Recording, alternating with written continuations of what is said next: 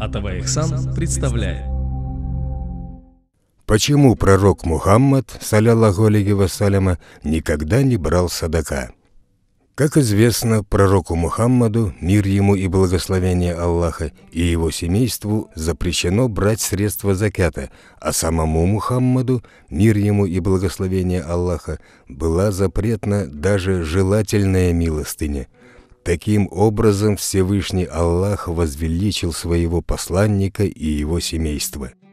Авторитетный ученый шафиитского масхаба Хатиб Аш-Ширбини об этом пишет следующее – также важное условие для получателя закята – он не должен принадлежать к потомству хашемитов или мутталибитов, семейства пророка, мир ему и благословение Аллаха.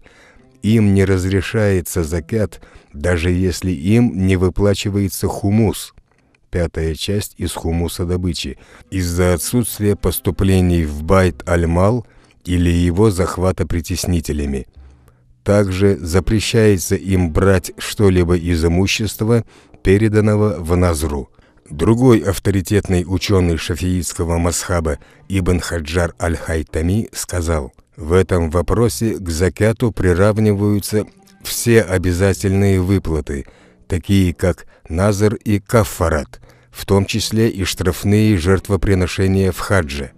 Однако им не запрещена желательная милостыня – а самому пророку, мир ему и благословение Аллаха, были запретны все виды садака, ибо его положение пред Всевышним очень высоко.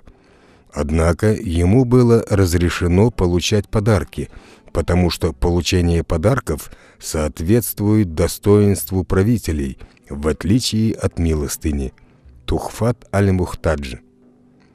От Абдуль-Мутталиба ибн Рабиа – передается, что посланник Аллаха, мир ему и благословение Аллаха, сказал, «Поистине, членам семьи Мухаммада, мир ему и благословение Аллаха, не следует прикасаться к садака», передали имам Ахмад, Муслим, Абу Давуд. Пророк, мир ему и благословение Аллаха, потому что она является результатом очищения имущества и душ людей – Исходя из этого хадиса, можно сказать, что мудрость того, что пророку, мир ему и благословение Аллаха, было запретно садака, заключается в том, что это был способ отстранения пророка, его величия и уважения от грязи людей. По той же самой причине и его семье было запрещено принимать садака. Также в сборниках достоверных хадисов Бухари и Муслима сообщается, что Абу Хурайра, да будет доволен им Аллах, сказал, когда однажды Аль-Хасан бин Али, старший внук пророка, мир ему и благословение Аллаха, да будет доволен ими обоими Аллах, взял финик из тех, что были собраны в качестве садака, и положил себе в рот, посланник Аллаха, мир ему и благословение Аллаха, сказал ему, «Нельзя, нельзя, выбрось его. Разве ты не знаешь, что мы, все члены семьи пророка, мир ему и благословение Аллаха, не едим садака?» Передали имам Ахмад, Бухари, Муслим, Ибн Хиббан. В другой версии этого хадиса сообщается, что пророк, мир ему и благословение Аллаха, сказал «Поистине садака нам не дозволено». Ученые высказали разные мнения относительно мудрости запрета садака для Мухаммада, мир ему и благословение Аллаха, и его семейства.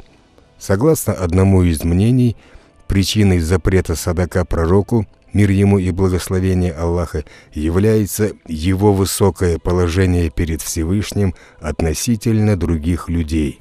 Поэтому Всевышний Аллах запретил ему и его потомству закят, сохраняя и защищая его высокое положение от чьего-либо посягательства или чьего-либо возвышения при подаче ему садака или закята. Таким образом, пророк мир ему и благословение Аллаха, и его семейство могли сохранить свою независимость, что давало им высокий статус. Если бы Всевышний Аллах дозволил пророку, мир ему и благословение Аллаха, и его семейству садака, язычники могли бы попрекать его тем, что он собирает садака для себя и своего семейства. Однако Всевышний Аллах закрыл этот вопрос, запретив пророку, мир ему и благословение Аллаха, и его семейству садака. На это мнение также указывает Аль-Хафиз ибн Хаджар Аль-Аскаляни. Не забудьте подписаться на канал. А также, чтобы быть в курсе новых публикаций, нажмите на колокольчик. Мир, милость и благословение Аллаха всем нам.